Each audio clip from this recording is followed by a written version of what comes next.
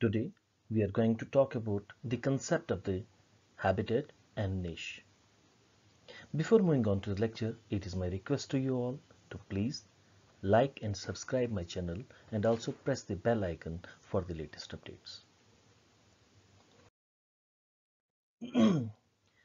habitat. When we say a place under which an individual or species is biologically adapted to live in. Each habitat provides various niches. Competitors can coexist in the same habitat but have separate niches. Now, when we talk about a habitat, it is basically the place of an organism where organism lives comfortably. And where various niches are present can be present so that it can reduce the competition among different species. For example in this very picture what we are seeing that this is one habitat. The whole place is a one habitat but the organisms had divided it into different niches so as to reduce the competition among themselves.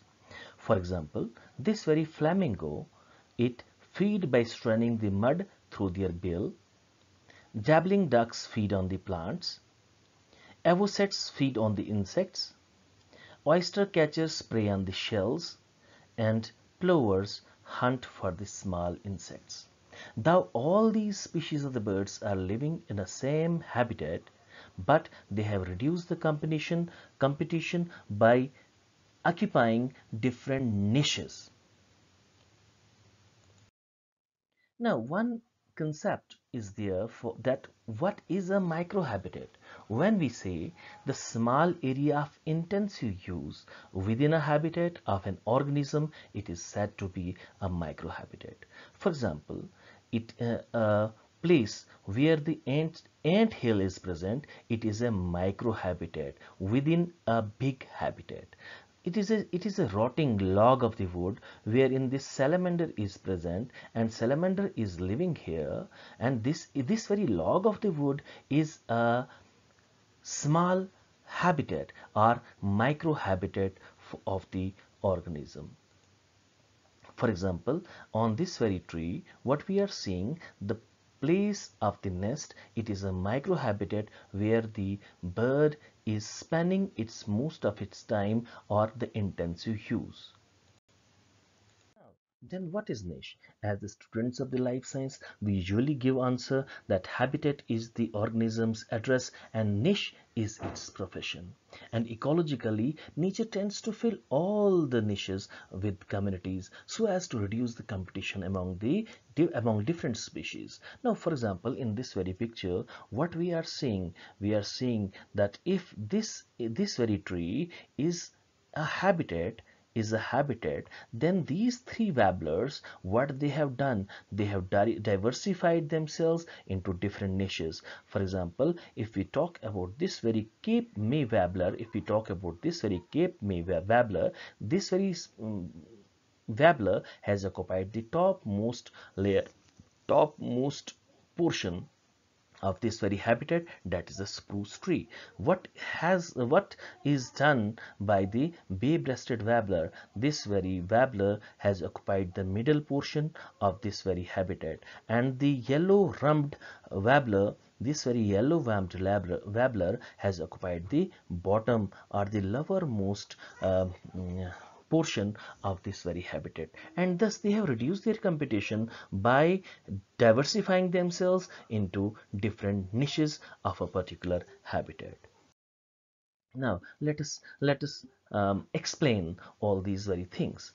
That what is a habitat? Habitat is derived from the word which means habiter or haber which means to inhabit or to hold. This term was derived from these two Latin words, habiter or haber in 1755. This the kind of the place under which an animal or species is biologically adapted to live. Habitat is a set of the place of environmental conditions in which particular organism lives and adapts to the situation accordingly. For example, I usually tell my students that we cannot, the habitat is a place where organism lives comfortably. For example, a polar bear cannot, uh, cannot uh, be comfortable in the zones near to that of the equator. So the polar region is the habitat of the polar bear whereas there are there are the animals such as such as the um, kiwis. They are the particular they, their particular particular hab, habitat the, their comfortable place is new zealand.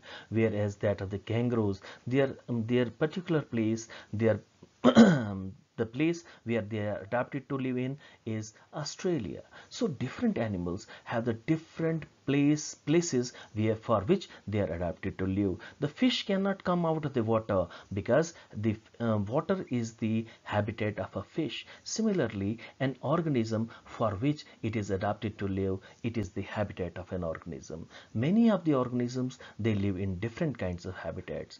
For example, some live in temperate, some live in tropical, some, some live in fresh water, some live in marine water, some live in estuarine water, some live in grasslands, some live in deserts. So the different organisms have different kinds of the habitats. So the place or area where the particular species lives is the habitat. A habitat is a part and is considered as the real place of the ecosystem. Now, there are the factors which play an important role uh, for the organism to live in that very particular habitat or a particular habitat is affected or is dependent on the various factors that can be physical that can be biological the factors like sunlight average rainfall annual temperature type of the soil present, abiotic factors may affect the presence of the organisms and traits in that very environment. These factors help in determine, determining determining the particular type of species suited for that very environment. So we can also say that habitat is the nutrient or energy providing area for all types of organisms irrespective of the kind of the species. So habitat is actually a place from where the organism de derives its nutrient derives its energy. Now we they, it is irrespective of what kind of species are present. The species can be of different kinds but they should be adapted to live in that very place habitat defines as a field where all living organisms live in the natural environment and reflect their way of living the pond river ocean is the best example of the habitat as many organisms are found in the same place or habitat. These habitats can be arboreal, terrestrial, aerial, aquatic as I told you. Now what kind of habitats are there for the organism to live in? There are different kinds of habitats, but the terrestrial and the aquatic habitat, they are the main habitats under which different categories of the habitats are classified or divided. For example, if we talk about the terrestrial habitat, terrestrial habitat is divided into forest, grassland, wetlands and desert, whereas aquatic habitat is divided into three main types that is marine water or salt water, brackish water and fresh water. When we talk about the aquatic habitat and when we talk about the marine water, marine water um, marine water has a salt concentration more than 35 ppm whereas the fresh water has the salt negligible salt concentration. Whereas in the case of brackish water it has a salt concentration in between that of the marine and the fresh water. It means for rightly from the 1 ppm up to the 35 parts per million. So if we if we talk about the aquatic ecosystem or aquatic habitat, the aquatic habitat, if we talk mostly of the marine habitat, marine habitat is further divided into different kinds of the, its different zones or we can say different other minor habitats. For example, the zone which is near the bank, it is called as the littoral zone or it is also called as the neritic zone the open water area open water area away from the mainland. It is called as the pelagic zone. Now on the basic uh, basis of the light it can also be divided into the photic zone up to 200 meter. It is called photic zone. So it is also called as a dysphotic zone and the aphotic zone. The dysphotic zone is uh, mainly um, classified many a times that wherever there is little bit of intensity of the light. Whereas aphotic zone where there is no intensity of the light reaches or no light um, light area it is called as the aphotic zone. Now this very pelagic zone can also be divided into the epipelagic zone then mesopelagic zone that is up to 200 meter it is epipelagic zone then from 200 meter to 1000 meter it is categorized as mesopelagic zone then 1000 meter up to 4000 meter it is called as bathypelagic zone then 4000 meter uh, up to 10,000 meter it is called abyssopelagic zone. And there are certain uh, certain depths in the oceans which we call it as the hadal depths. Even the organisms are found there. So we do have why I am telling you all this that because the marine habitat is divided into different zone and each and every zone has a particular kind of organism living in this very area. That is particularly adapted to live in those very zones for example there are bottom dwellers there are deep sea fishes there are cave dwelling fishes they cannot come out of the cave they cannot come out to the epipelagic zone but they are they are mostly um, adapted to live in the um, in the hadal depths in the in, in, the dark environment in in the aphotic zone. So those very organisms such as planktons are the uh, or certain you can say epipelagic nectons they are present on the upper surface of the water. They cannot go down. They cannot bear the uh, pressure of the water up to this very depth so each and every organism has a particular habitat, a particular microhabitat within a habitat. So uh, if we say that whole uh, fresh um, this very water ecosystem is one habitat then it is divided into smaller ecosystems if uh, say marine uh, marine um, habitat it can be divided into its further zones or further microhabitats and the further um, you can say zones so each and every organism is adapted to live in these very zones. So then we do have some certain extreme habitats. Extreme habitats. Now you must have heard about the hot thermal geysers and uh, there there are there are many um, such hot thermal geysers um, in the um, in the ocean floors as well or in the form of the hillocks from where these uh, volcanic eruptions do come out or many a times you have you must have heard that most of the active volcanoes are under the sea so many a times these some of the organisms are adapted to live in those very places where the temperature never never gets below 200 degrees centigrade. So there are certain place, certain animals which live uh, and uh, which feed on the ooze coming out of these very geysers coming out of these very you can say cracks. We call them as the thermal cracks so what we see, we see bacterial filaments, scale worms, limpets, tube worms, sea spiders. They are adapted to or many times and tube worms. They are adapted to live in these kinds of extreme habitats. We do have the estuarine habitat where there are particular kind of fishes which are adapted to live in a, in a salt concentration which is in between that of the uh, marine water and that of the fresh water. Then talking about the fresh water, freshwater habitat. The uh, the organisms living in the freshwater they cannot move uh, to the marine habitat because they are not adapted to tolerate such a huge quantity of the salt because it becomes difficult for them to to undergo such a such a, a kind of the osmoregulation to maintain the this very osmotic balance in their body by uh, getting into the into the maximum amount of the salt concentration because their body is not adapted to live in the marine environment. But yes there are certain fishes or certain organisms which we call it as the uh, as the euryhaline are um, there are many kinds of the fishes are organisms which call as the euthermal they can tolerate the extreme environmental condition in the form of temperature. They can tolerate extreme environmental condition in the form of the salt concentration such as we do have the examples of the uh, salmon uh, which uh, which uh, mm, which is a anadromous fish then we do have the example of the Atlantic eel, which is a catadromous fish. It moves from the, the eel moves from the freshwater to uh, seawater, whereas salmon moves from the seawater to the freshwater, but they, they uh, undergo certain physiological changes to get into those very different kinds of the waters. Then uh, we have the zonation of the lakes as well. The lake is also divided into different kinds of the zone. That very zone which is which is covered with the vegetation.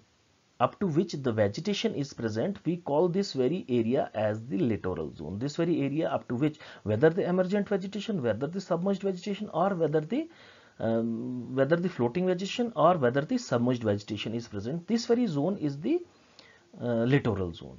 The open water area this very zone this is the open water area away from the vegetated uh, you can say rooted plants.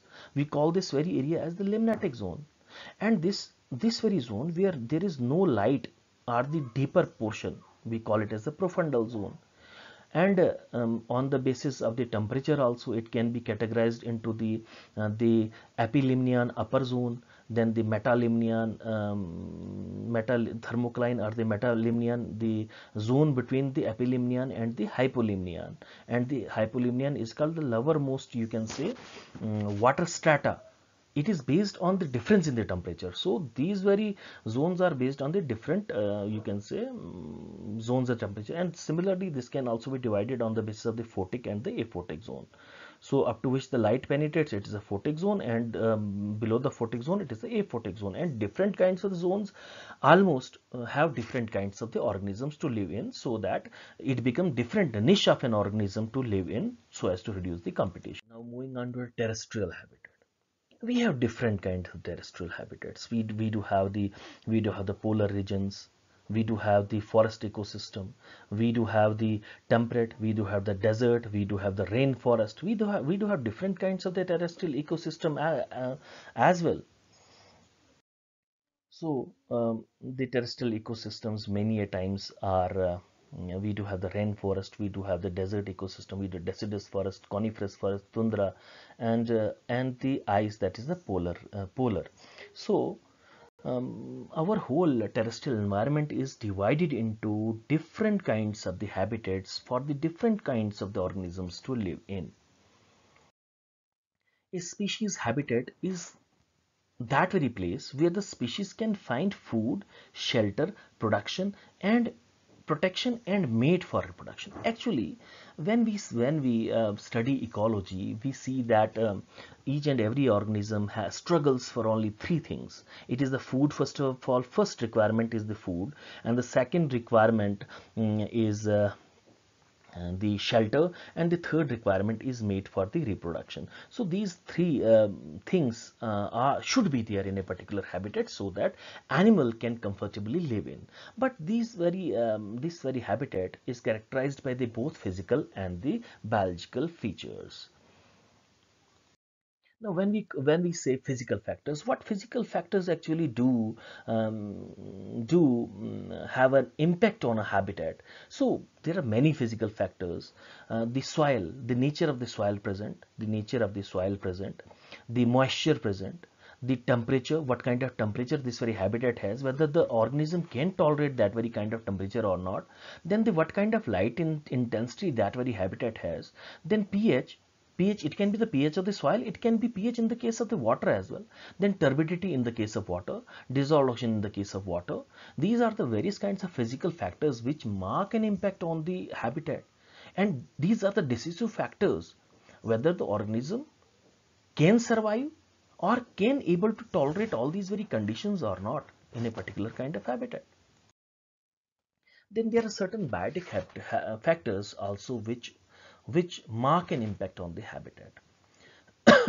in the selection of a habitat that includes the availability of the food, presence or absence of the predators, competitors, and then the presence of the parasites and diseases in a particular area also marks an impact on the selection of a particular kind of habitat by the organism. So by the um, by categorizing the terrestrial habitats into the different geographic types, we do have the polar, as I told you, polar, deciduous, temperate, tropical, subtropical, rainforest, and then we do have the deserts. So we do have different kinds of habitats uh, in which different kinds of organisms do live in. And in the freshwater habitat we do have the marshes we do have the streams we do have the rivers lakes ponds. Then marine habitats we do have the salt marshes we do have the coast we do have the intertidal zone we do have the estuaries we do have the reefs we do have the bay we do have the open sea we do seabed we deep water and uh, we do we also have the submarine vents as i told you in the case of the in the case of extreme habitat. Then uh, these this was all about the habitat. Now what is a niche actually? What is the niche? The term niche was uh, first uh, coined by the uh, Grinnell in 1971 it is actually the role or function of an organism in the biotic community. Now, what role it plays in a biotic community? It includes the trophic level. So, on the basis of the food, now see the role. What kind of actor this very organism is, whether it is actor in terms of uh, in terms of selection of nest on the basis of the uh, feeding, whether uh, it selects a foraging location whether it feeds on canopy, mid-story or ground and what it eats. It eats insects or the seeds or what size of the food it eats. It eats large or small seed and when it eats whether it, um, it is a diurnal or it is a nocturnal or where it finds shelter how it responds to the abiotic factors and where it nests. These are actually the factors which determine the niche of an organism. Now, um, this very term niche, term niche, is it is actually uh, defined on three bases. One definition was uh, is called as the ecological um, niche. What is the ecological niche? The position an organism fills in its environment. So this is the common uh, definition of the niche that if habitat is the uh, place uh, the habit uh, this very uh, niche is the profession. And this very when we talk about the ecological niche it is the position an organism fills in the environment. And Eltonian niche is generally commonly used that it is the role of the species in a community or its job or profession. So ecological niche is the position it fills in the environment, its position in the environment, its position in the habitat. Eltonian niche, its job or profession. And thirdly, we do, we do have one more definition given by the Hutchinson. It is the range of conditions and the resource availabilities within which individual or species persist. Let us have a little bit of idea about the three aspects of the ecological niche which are designated as the space uh, spatial niche partitioning.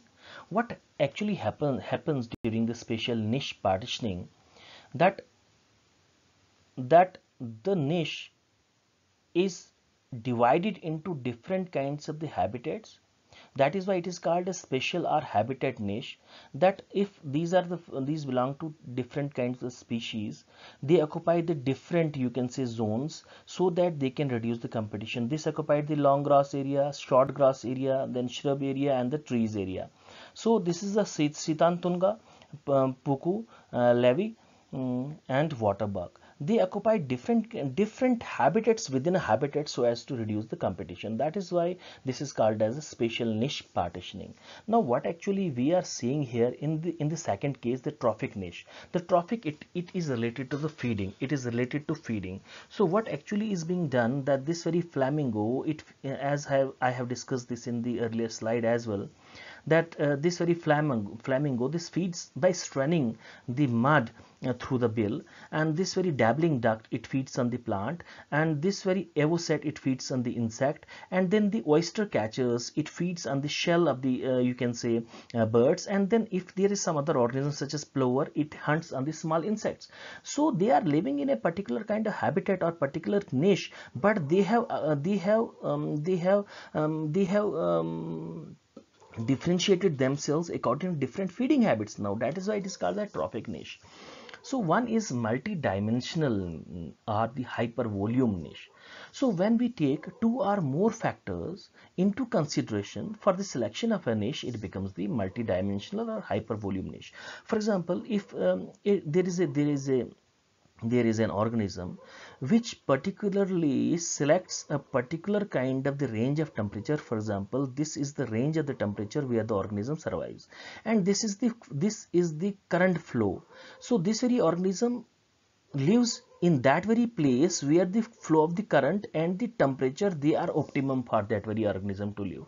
Or the place where the temperature and the humidity they are at optimum, optimum le um, level for that very organism to live so another term uh, we um, usually across uh, come across um, while studying the uh, niche it is the niche width and the niche overlap so what is actually the niche width? For example, there is species J and there is species K.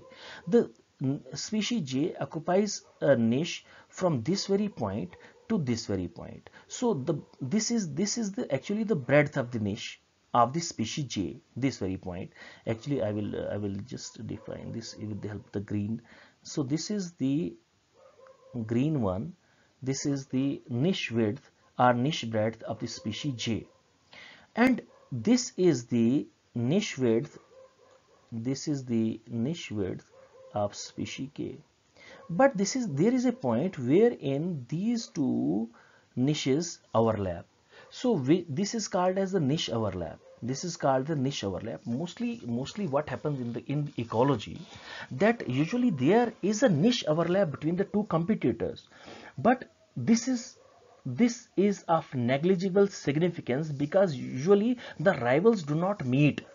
Our rivals meet occasionally and whenever they meet there is a little bit of you can say tension in those very organisms where they try to trespass each other's uh, you can say niche. Uh, basically it happens in the case of territory if the organism is territorial. Now what is um, there is there are two different uh, you can say definitions. Uh, one is uh, the fundamental niche and one is realized niche. Now uh, fundamental niche and the realized niche. Now students i will just make it easy for you that for example in a place where you live in there is no competitor. There is no competitor for an organism. The organism can thrive there independently. The organism can reproduce. Organism is has does not ha have to counter any kind of disease predator or any abiotic or physical chemical factor or physical factor. Each and everything is very nice the organism is growing day by day. The organism is increasing its population day by day. There is no hindrance to it. But keep in mind that this very fundamental niche is only a theoretical one. This can be present in theory only but this cannot be practically present. So but what is a realized niche? So realized niche is the particular niche of an organism where the organism has to face all the physical as well as the abiotic uh, abiotic as well as the biotic factors. It has to compete it has to cope up with the predator it has to escape from the predator it has to search for the prey. It has to uh, it has to face the disease it has to face the competition. So one is the fundamental niche and other is the realized niche. Uh, now let us have a little bit of differentiation what we will uh, learn from this very fundamental and realized niche. The niche of an the fundament in the fundamental niche the niche of an organism given that there is no limiting factor the i told you that there is nothing limiting factor no limiting factor on the environment or a source the organism can use. Now realized niche the niche that is occupied a viable population of a species in the presence of competitor species. Now here in this very case fundamental niche there is no limiting factor but here it has to face the competition it has to face everything. This is also called as the fundamental niche is also called pre-competitive niche whereas it is called as the realized niche is called as the post-competitive niche. This is a theoretical one fundamental niche is theoretical niche whereas the realized niche is actually the niche where the organism lives this fundamental niche is large in size, whereas the realized niche is very small in size. This fundamental niche elaborates on various rules of the particular species. but in the realized niche it elaborates on what species actually do and in the fundamental niche there is no competition either for the resources neither for the um, nor for resources neither for resource nor for the predator but in the case of uh, realized niche the, there occurs the competition for both resources as well as the predators for example in this very diagram what we are seeing here in this very diagram that there is a um, Chthamalus barnacle which can live both in the deep and shallow intertidal zone. So it can it is living here. You are seeing that the population of this very barnacle is increasing day by day and after occupying this very zone that is the lower tide zone it is it is moving towards the high tide zone. Because there is no competition there is no predator there is no you can say disease there is no competition there is everything um, physical uh, factor as well as biotic factor they are they are in conformity. But in the case of uh, when it comes to the you can say competition for example uh, along with the balanus the if the second species that is the balanus is now present here what happens? That this very uh, Chthamalus this spatial range forcing it to occupy a higher drier zone. So this in the presence of this very competition now what is the competition here now? Here the balanus is competition now which was absent here. The balanus was a, a, competitor was absent in the case of the fundamental niche but it is present in the case of realized niche.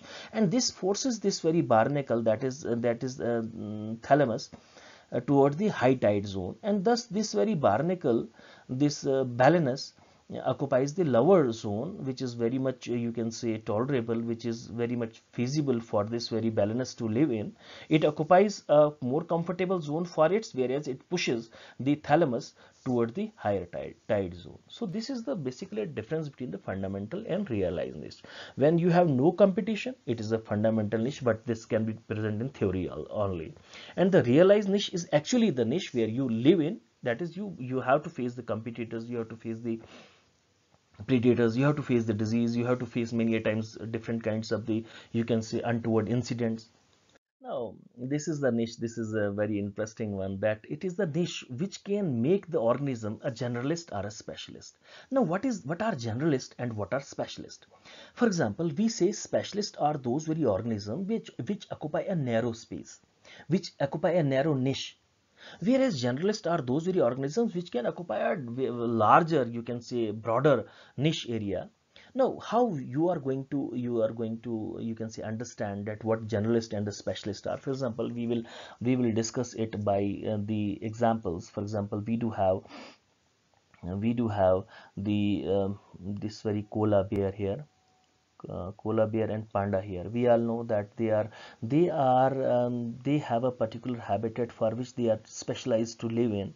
So they are not adapted to live in the uh, habitat which is having a um, um, biotic or abiotic factors uh, not at par with those very that very environment in which they are living. So they are not able to tolerate the mm, uh, either the little bit of variation in temperature or mostly the food. They are not going to find the food which is available in their uh, in their habitat. For example there are certain you can say shrews and uh, you can say other organisms which are regarded as generalist. Now why these are regarded as specialist because they have they have the uh, narrow narrow niche. They are less adaptable to the uh, adaptable because of the specialized needs now what are their specialized needs? For example it feeds on the bamboo or it feeds on um, on the certain food items which are particularly specialized to that very place. Then um, the, they are more likely to become extinct. So one more thing is there that that they are already endangered species and they are more likely to become extinct. And use specific set of the resources and usually affected by the changing condition and have advantage when the conditions are more constant. So they um, they have the great they don't have the greater tolerance range. Simple. The specialists don't have the greater tolerance range and they are very much you can say intolerable. Uh, they cannot tolerate the extremities in the temperature whereas generalist uh, generalist they can tolerate the extreme environmental temperatures. They are they are uh, they can switch over to the different kinds of the uh, foods. They can tolerate high range of um, temperature. They can uh, they can um, have the greater variety of the um, use greater variety of resources they can switch on to different other food if their their particular food is not available. So this is making them the uh, the specialist and the generalist. For example this is the this is the graph or the peak showing that of the uh, specialist. It is a narrow uh, narrow niche whereas in the case of generalist it is a, it is niche breadth is greater.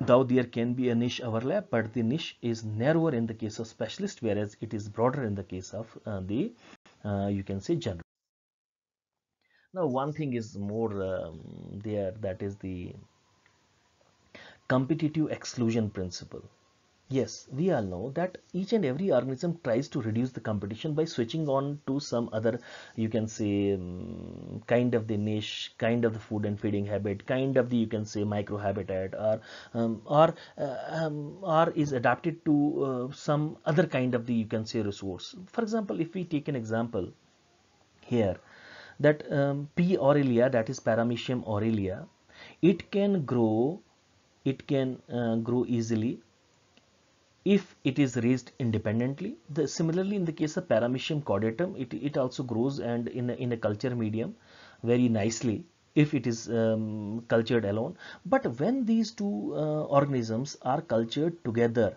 then what happens that one of the species is eliminated, is excluded. So one species is unable to tolerate the presence of the other species. So what happens in this very case that this very Paramecium aurelia, it adapts itself uh, nicely better than that of the Paramecium caudatum. Now what happens to the Paramecium caudatum? It excludes. So this is the um, this is the um, you can say competitive um, uh, exclusion principle where one species is not able to tolerate the presence of the other species. So this is actually this was actually the fundamental. Now here uh, comes because it is a laboratory condition that here actually what happens that paramecium or um, for the paramecium aurelia we gave it a fundamental niche. Paramecium caudatum we gave it a fundamental niche. But when it comes to the realized niche only one is able to survive or one is um, is excluded. That is why it is called as the uh, competitive exclusion principle another thing what we interestingly study in the uh, niche is resource partitioning because in the in the earlier chapter i have told you about the different kinds of warblers who occupied the different who they partitioned their resources actually and, and this also happened in the case of other uh, you can say finches um, that some of them occupied the topmost um, portion of the tree some occupied the um, below the top uh, most portion some occupied the middle some occupied the inner and some occupied the outer so as to reduce the competition and similarly I, I gave you the example that uh, they utilize different resources within niche. For example I talked about the flamingo which fed on by straining and um, straining the mud through the bill. Then I talked about the dabbling duck which fed on the plants uh, in the same same same ecological niche and avocets which fed on the insects the oyster catchers on the shells and the plovers they hunt on the uh, small insects. That is why they partitioned their resources so as to reduce the competition. So this is this is also one of the interesting thing done by the animals to reduce the competition now, uh, what are the advantages of the ecological niche? What are the advantages? Why do animals form the ecological niche? Actually, the animal can escape competition by occupying the first thing. Uh, first thing that um, that um, is that they escape competition by occupying the different ecological niche. They usually escape the competition.